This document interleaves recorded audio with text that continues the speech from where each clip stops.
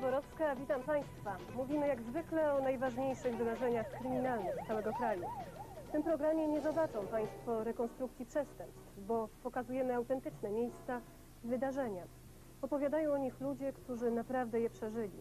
Kronika kryminalna. Magazyn dla ludzi o mocnych nerwach. Dziś 21.50.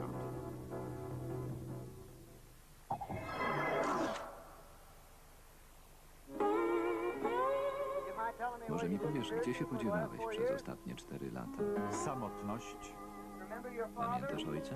Pamiętam, że był chudy. rozwiane nadzieje, Cztery lata to długo? To połowa jego życia. dziecięce marzenia, Jak to możliwe, że masz dwóch ojców? Miałem szczęście. Powiedz mi, co zaszło między tobą i Jane. i utracona Nie miłość. mogłam znieść bólu obserwowania, jak rośnie z dala ode mnie. Nastasia Kiński, Harry Dean Stanton i Dean Stockwell w filmie Wima Wendersa Paris, Texas. Dzieło, które w 1984 było sensacją festiwalu w Cannes, zdobywając wszystkie główne nagrody. Cykl gorąco polecam. Dziś 5 minut po północy w jedynce.